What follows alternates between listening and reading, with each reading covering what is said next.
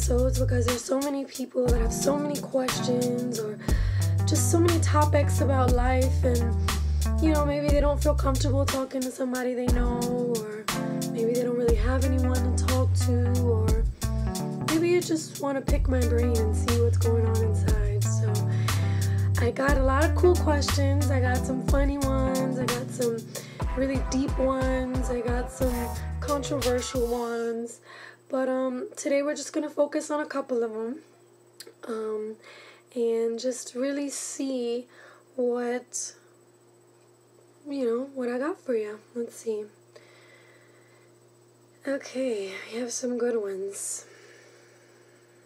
Question number one. If you had to pick a new stage name, what would it be? Hmm.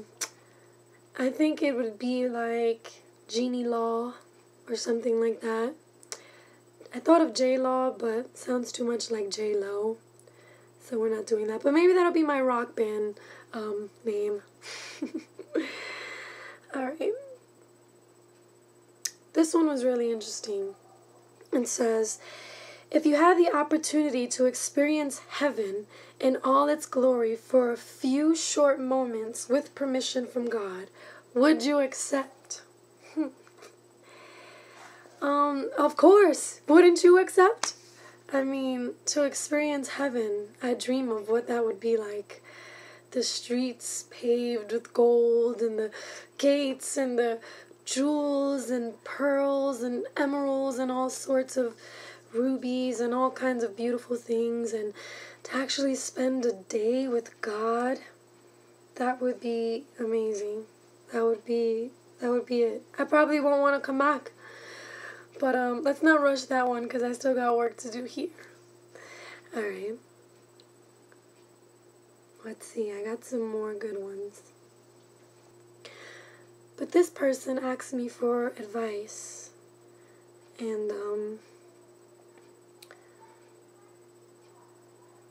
she says she had a friend who was attending church and they were both growing together spiritually and her boyfriend attended a few meetings but he didn't really like it.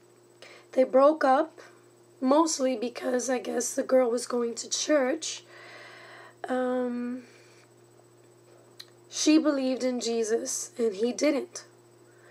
When they broke up she was really flourishing in god and asking questions about the Bible and attending Bible studies, and them two were getting closer as a friend. So, this question is coming from someone who has a friend who used to go to church, and because her her boyfriend didn't like it, she liked it, but her boyfriend didn't. They broke up, and when they broke up, um, this person's friend was growing in God and really getting like really crazy about God and, and them two as a friend as friends were growing closer. Then two weeks later she got back with her boyfriend and completely stopped going to church. And it's been a month, it's been some time.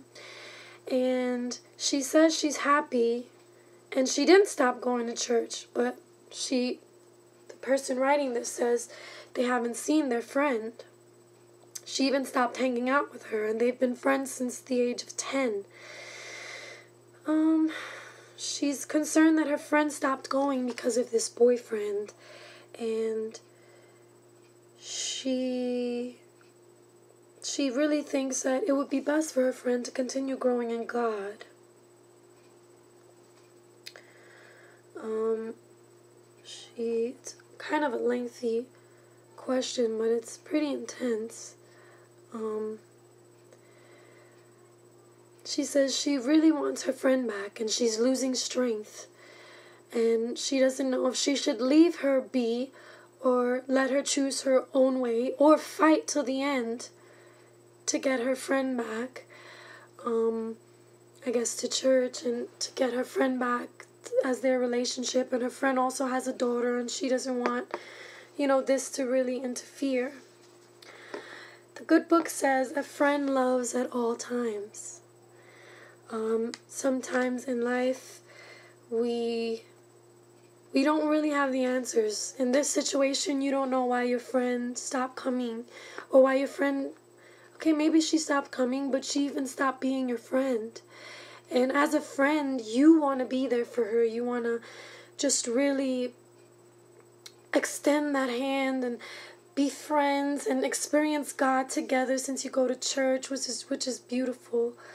But um as a friend, I think you should tell her, you know, you miss her and that you really you know, want for her to come back and you guys to fellowship with God together. And, you know, you saw how beautifully she was growing during that period of time.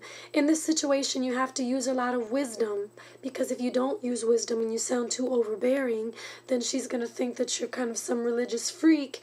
And her boyfriend, if he's trying to discourage her, you know, he'll jump on that bagwagon to just leave you alone. Bandwagon, rather. But um I think as a friend you still have to love her and you're a Christian. So you show her the love of Christ. Jesus wouldn't give up on her. He hasn't give up on her. He hasn't give up on her boyfriend who doesn't even believe in him. So you just really have to love her and pray her through. Pray her through this time. Maybe you know she wasn't strong enough to get you know to to uh, withstand this and you know she probably gave into a weakness and um, sacrificed, you know, fellowshipping with God and fellowshipping with you for someone that she loves. And you can't really blame her for that because maybe she just doesn't know, you know, what choice is the best choice to make. It says, um, you know, two are better than one because if one should fall, then they have the other one to lift them up. And I think you in this situation, you think that your friend is falling or she might fall and you can just be her support to lift her up. Let her know how her light was shining those few weeks. You you said she was growing beautifully. Just in wisdom don't say you know well now that you're not coming like i don't see that anymore. Or before when you were with him you weren't like that but when you were alone you really grew she probably knows and you know if i'm sure if you told her before then let it be. Maybe if she doesn't know you can kind of mention it but you have to be wise. Just let her know that you saw her beauty in those weeks and you never seen her stronger before than in that time. And i think that she will she will come around and you guys will your relationship will restore. And if it doesn't and if that is a choice we all have a choice to make and if she chooses not to come around and to kind of just leave you be, then you really just have to sow it as a seed and continue to pray for her and love her and be pleasant. But we are all given a freedom to choose, and you would just have to sometimes, you know, I sadly I know that sometimes friends grow apart. And as much as you try to keep it together because of the relationship you had, sometimes you just grow in two separate directions but she will always be your friend. And if she comes back running, you have to extend your arms to her like Jesus would. Okay, that was a long one, but it was a very good one. Um, I also got a message from someone from Brazil, which was interesting because all the other questions I got were from New York or from actually not even from New York, but from America. Um, I got some from I believe New Jersey and uh, California, and this one's coming from Brazil. Um, she says, well, she says she's a fan, and I thank you so much for being a fan. It's really sweet of you, and I'm really glad that you love what I do. That's why I do it. Um, she says to bear with her English because it's not so good, but she really did a great job. Okay. She says, I have a boyfriend and they will make three years in September. They met on the internet, and at first he was very excited to see her. In 2008, they fought and had and they broke up and he was a little weird with her. And they would fight and get back together and fight and get back together. We all know what that's like. Um, not very healthy there. Um, she says that time went by and they they really hadn't seen each other for a while until today, which was the day that she wrote me this message. She says he changed a lot and it seems like they he no longer wants to be with her. Um, she's not sure. She says, I don't know. She could be wrong, but he doesn't talk right with her he doesn't want to know, I think, anything about her life. But she says she loves him, even with all even with all his faults, she loves him. Um, she says it's somewhat it's somewhat difficult to understand,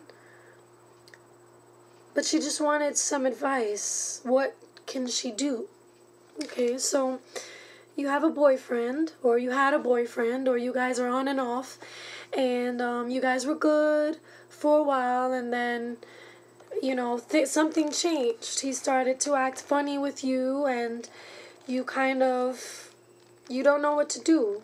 You still love him very much. And i think that that's where you know it's becoming hard. Because if you didn't love him you wouldn't care. You would just leave him and you'd be like you know what? Whatever. You go on with your life i go on with mine.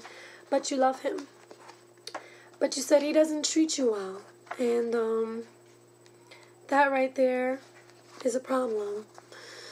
You know, um, I think first of all, before you could really truly love anybody, you have to understand what it is to love yourself and what you're worth. And in this situation, if you already think he's not treating you well, then you, you have an idea of how you should be treated.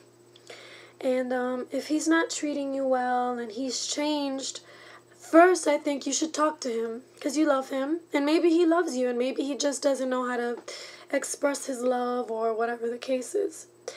You can talk to him and see, you know, where he stands. Let him know, look, I think you've changed, and you're not treating me right, and I need to be treated better, or we can't be together anymore. If you did this already, then maybe it's just not time for you to be in that type of relationship or you definitely shouldn't deal with somebody mistreating you. He um he needs to understand that you know you're precious and if he loves you, he will treat you right. Maybe he doesn't know how to love. A lot of people don't know how to love. But it's because a lot of people don't love themselves. So you can always give him advice and see where he's at with that. But if you know where you are in life and what you deserve, and who you are in God, then you don't need anyone to mistreat you or you don't need any other kind of love.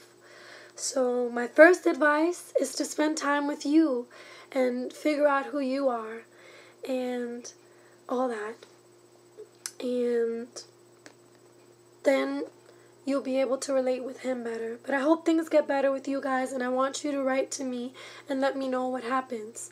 But don't stress yourself out about about it because if he doesn't love you, then there's plenty more out there for you to experience. But first, you got to figure out who you are in God and who you are as a person and who you want to be and and you got to love yourself. Because if you love yourself, then you have all confidence and people will love you too. My time is running short because YouTube has only given us 15 minutes now. So I'm going to cut it off here and I will continue with another episode soon.